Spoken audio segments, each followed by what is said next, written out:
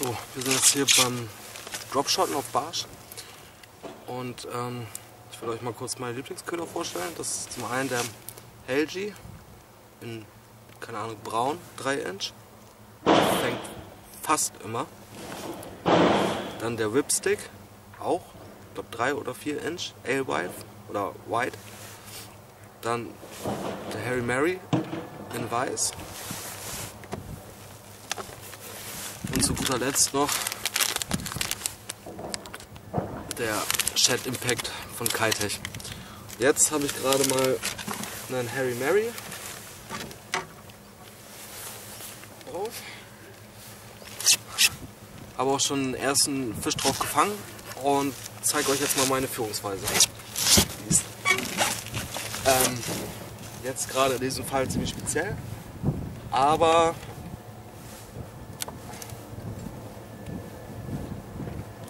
Ach komm, ich zeige euch einfach alle Techniken. Die erste Technik ist auswärts zum Grund.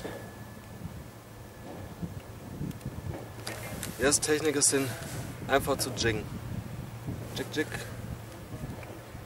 Wie ein Gummifisch. Das war der erste.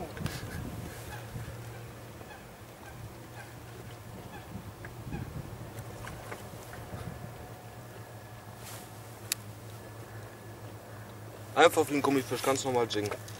Wenn es dann halt ein bisschen schwierig, wenn die dann da reinbeißen, so, dann schlägt man oft an und ähm, verpasst ziemlich viel Bisse. Einen Haken rausgezogen hier. So, die zweite Technik.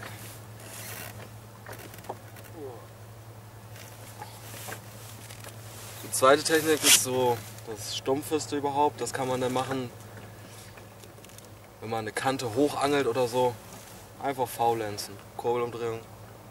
Zack, am Grund.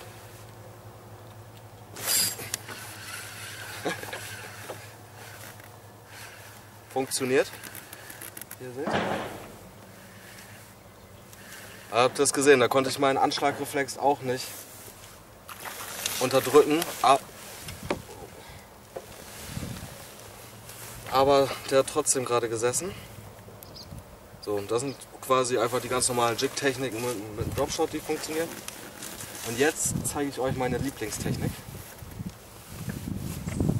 Ich fast immer fische eigentlich. Oder zu 90 Prozent auf jeden Fall. Wie soll man das beschreiben? Also ich finde der beste Vergleich ist, wenn man das mit der Tremarella-Technik will. Ich habe die Angel und schlage immer rein so. Lass den schüttel den quasi auf der Stelle und mache dabei eine Kurbelumdrehung, ganz langsam. Zack. Und jetzt lasse ich den erstmal, ich schüttel, mache eine Kurbelumdrehung und schüttel den auf der Stelle. Lass ich stehen. Dann mache ich nochmal, schüttel ich nochmal auf der Stelle. Warte. Und dann führe ich ihn mit drei Kurbelumdrehungen aggressiv hoch. Erst langsam auf der Stelle stehen lassen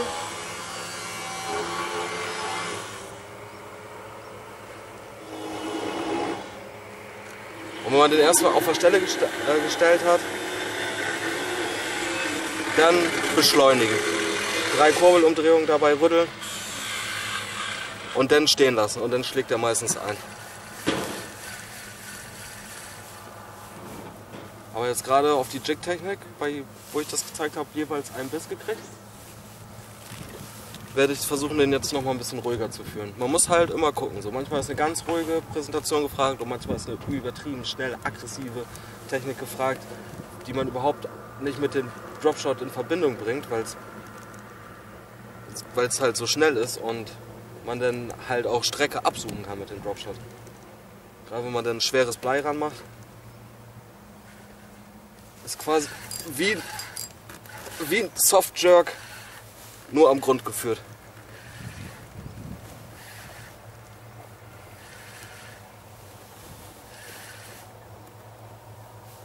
Oh, das ist schön. Das ist schöner.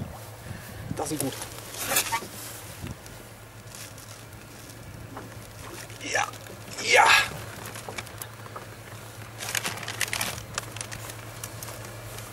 Ah, das haarige Mariechen voll weggeblasen. Starker Fisch.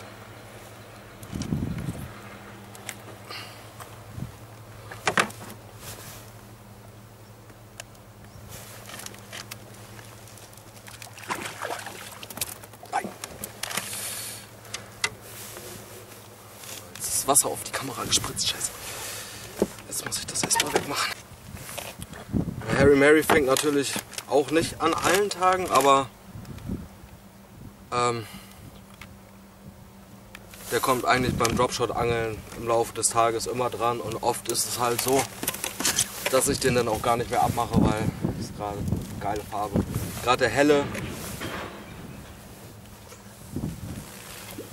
imitierten Weißfisch, das fressen die Barsche einfach und ja, muss man halt auch nicht unbedingt. Das ist auch ein sehr klarer See hier, Sichttiefe teilweise bis 4 Meter.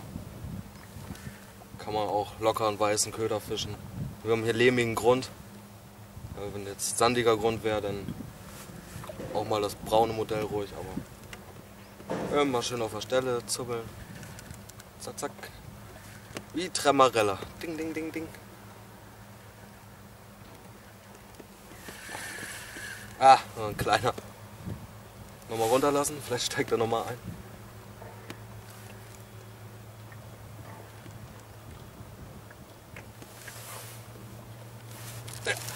Er steigt nochmal ein. das ist natürlich ein saufrecher Köder. Ne? Also.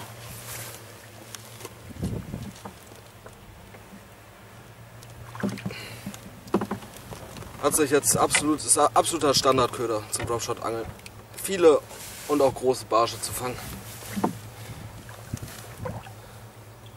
Die größten Barsche waren so ungefähr 45 auf den Köder.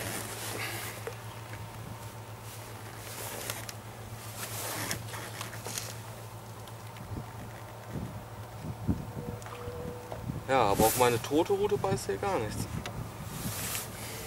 Egal. Solange die eine hier fängt.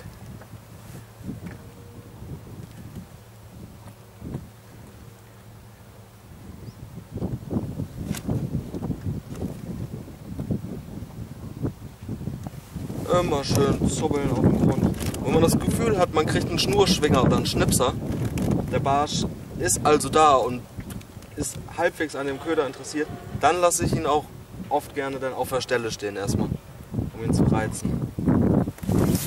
Aber sonst fühlt das relativ schnell das Dropshot-Trick. Aber es ist wie gesagt Tagesform. Das sind, das sind halt Barsche, ne? Das sind tagesformabhängig. Manchmal muss man ganz leichte Zitterbewegungen und manchmal muss man den so aggressiv jiggen, dass man, dass der schon so Sprünge von ein Meter auf dem Grund macht und das reizt dann erst zum Anbiss.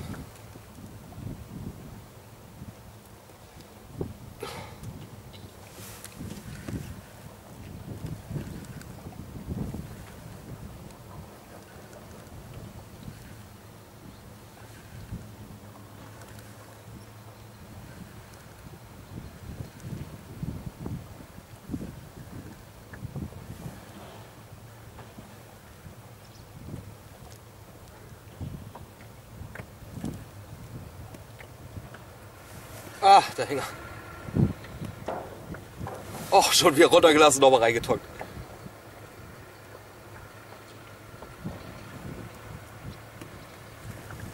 Und der Harry Mary ist auch echt kein Deut zu groß. Ah! Das war das dritte Mal jetzt. Komm. Auf meine tote Route, die ist hier direkt daneben, beißt nichts, ne?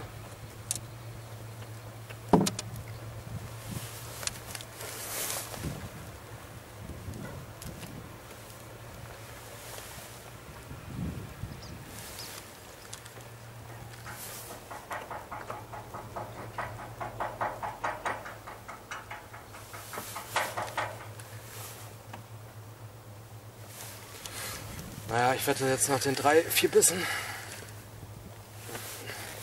Köder hängt noch gut drauf.